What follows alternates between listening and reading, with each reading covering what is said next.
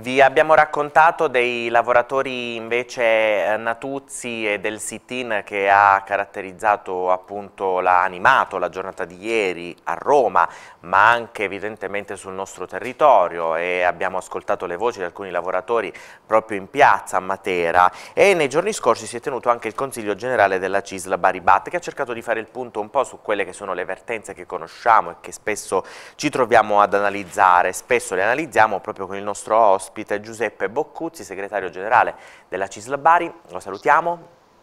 Buongiorno Antonello e buongiorno a tutti i telespettatori. Buongiorno a te Giuseppe, un'altra vertenza, un'altra situazione che mh, dura da tempo, quella della Natuzzi e vi sono preoccupazioni perché ovviamente ehm, il rischio per questi lavoratori è quel rischio che corrono tanti altri lavoratori che hanno a che fare invece con altre vertenze. Sì, purtroppo Antonello, la Natuzzi insieme a tante altre vertenze sta caratterizzando ormai da diverso tempo in maniera negativa il mercato del lavoro della provincia di Bari e, e non solo. Noi proprio come CIS di Bari Bat due giorni fa abbiamo svolto i lavori del nostro Consiglio Generale e abbiamo voluto arricchire il dibattito partendo da, dalla voce eh, di chi sta soffrendo eh, queste crisi. Eh, abbiamo dato la, la, parola ai lavoratori della Baritech che purtroppo vivono un doppio dramma, non solo quello di aver perso un posto di lavoro, ma quello di essere stati completamente dimenticati dalle istituzioni. Un, minuto dopo che eh, è arrivata la lettera di licenziamento a questi lavoratori, le istituzioni sono completamente scomparse e questo è stato diciamo, per noi difficile da, da, ascoltare questo sentimento negativo nei confronti delle istituzioni che stiamo cercando di agganciare nuovamente per portarli ad un tavolo però vediamo tanto disinteresse, mm, non c'era solo la Baritec, c'erano lavoratori appunto della Natuzzi che eh, lamentavano una condizione ormai eh, possiamo dire di difficoltà occupazionale che si trascina da oltre vent'anni, questa è un'azienda che in vent'anni ha quasi dimezzato il suo eh, diciamo, insieme di, di, di, lavoratori e lavoratrici, compresi l'indotto, e, e in ammortizzatore sociale da vent'anni, le retribuzioni eh, di coloro che sono soggetti ad ammortizzatori sociali eh, non superano i 1100 e 1200 euro, capisci bene quanta difficoltà, soprattutto in quest'ultimo periodo, con i rincari eh, su ogni fronte che eh, stiamo registrando. Abbiamo ascoltato anche i tanti somministrati, moltissimi stanno perdendo il lavoro in questo periodo, soprattutto nel settore dell'automotive, somministrati che anziché fare un breve passaggio in questa condizione, se vogliamo, di temporaneità, diventano somministrati cronici, ma alla fine al primo, alla prima nube che passa eh, diciamo, su un mercato di riferimento di un'azienda vengono spazzati via eh, senza poi possibilità di, di, di recupero. Abbiamo addirittura messo anche in evidenza eh, quello che è la condizione paradossale dell'avvertenza XOM che si trascina da 13 anni e nonostante che ci sia un'azienda, la Selectrica, che abbia gran voglia di investire, qui eh, la Regione sta facendo di tutto per ostacolare il percorso perché non si capisce cosa manchi per dare la possibilità a questa azienda di assumere oltre 100 lavoratori,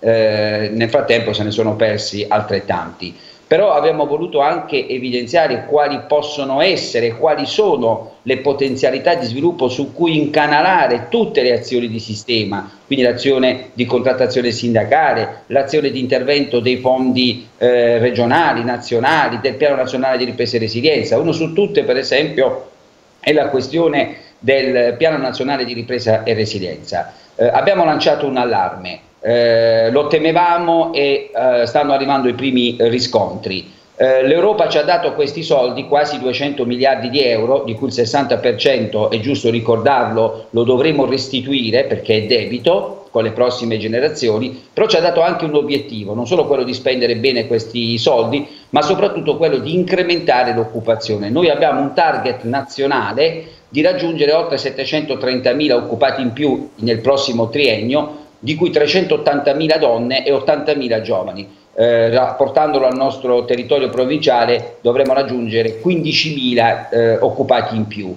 Cosa succede? Che per raggiungere questo obiettivo è necessario che in tutti i bandi di gara dove si utilizzano i fondi del Piano Nazionale di Ripresa e Resilienza, venga prevista una clausola di occupazione aggiuntiva del 30% riservata a giovani e, e donne oltre a clausole premiali per assorbire anche eh, i soggetti portatori di handicap. Ora abbiamo verificato in questo primo scorcio di tempo in tutto il paese e qui eh, non fanno eccezione che quasi il 70% delle gare ha completamente eh, eliso questa previsione, perché è vero sì che la legge dà una deroga, ma la deroga deve essere assolutamente circostanziata e deve essere un'eccezione anziché la regola. Quindi le stazioni appaltanti a partire dai comuni, e questo accade e sta accadendo anche nella nostra provincia in tutta la regione, stanno facendo di tutto per favorire gli appaltatori anziché favorire i cittadini che attraverso questi soldi dovrebbero trovare occupazione. Quindi è una denuncia che noi stiamo facendo con forza e stiamo sfidando tutti i comuni, presentando loro un'intesa che vada a governare questa previsione, perché senza questa previsione nei bandi noi avremo sprecato 200 miliardi di euro e non avremo dato un posto di lavoro ai tanti cittadini che dovranno pure ripagarli poi nel tempo.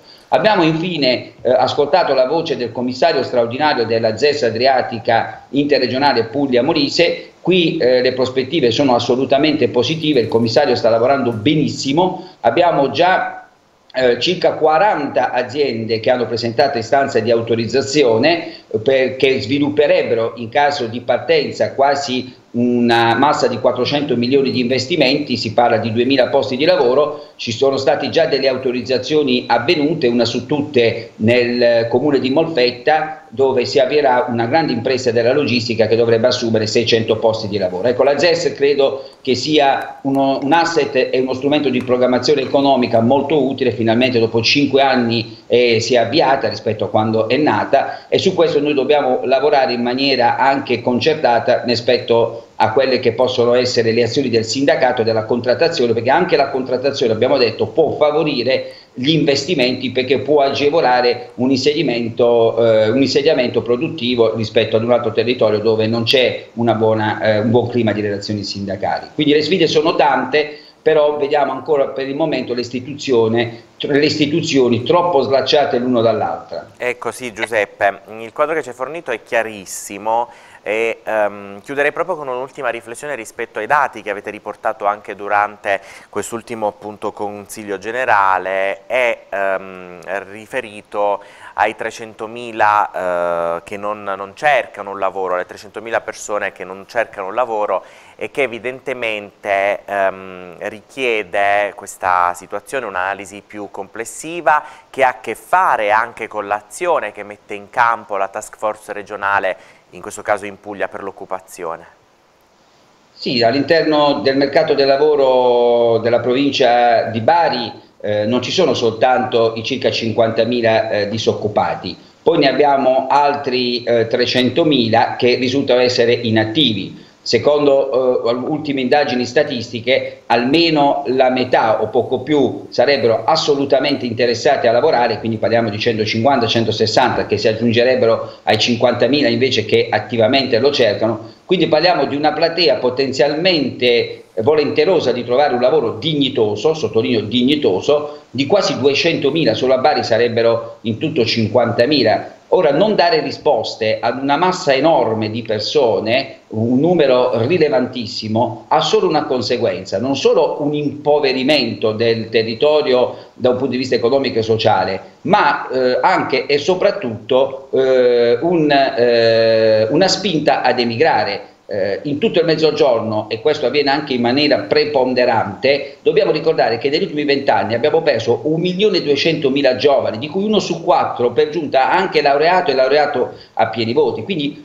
continuare a mettere sotto il tappeto queste analisi e continuare a vivere alla giornata per la politica o per eh, diciamo, eh, impegnarsi solo per un loro consenso significa trovarsi da qui ai prossimi 40 anni un territorio completamente spopolato e eh, assolutamente eh, in condizioni di fragilità economica e sociale, considerando che la popolazione anziana nel frattempo continua ad invecchiare e continua a, ad essere preponderante rispetto al resto della popolazione. Sarà difficile nel 2040, dove il 33% della popolazione avrà più di 65 anni, con un lavoro che si precarizza sempre di più, con tanti giovani che emigrano, arrivare ad avere una sostenibilità sociale. Rischieremo veramente di creare un futuro eh, di lacerazioni e noi questo non lo possiamo permettere, anche perché i 300 miliardi che dovremo gestire da qui ai prossimi 7-8 anni, tra il Piano Nazionale di Ripresa e Resilienza, la programmazione economica 2021-27, il Fondo di Sviluppo e Coesione, ci tolgono il pretesto a dire che non ci sono le risorse. Le risorse ci sono, bisogna saperle spendere bene, legalmente e in maniera efficiente. Ecco, questo è il messaggio che abbiamo lanciato alla politica e ci auguriamo che lo possano cogliere al meglio. Messaggio che lanciamo anche oggi, grazie per il tuo intervento Giuseppe, a presto.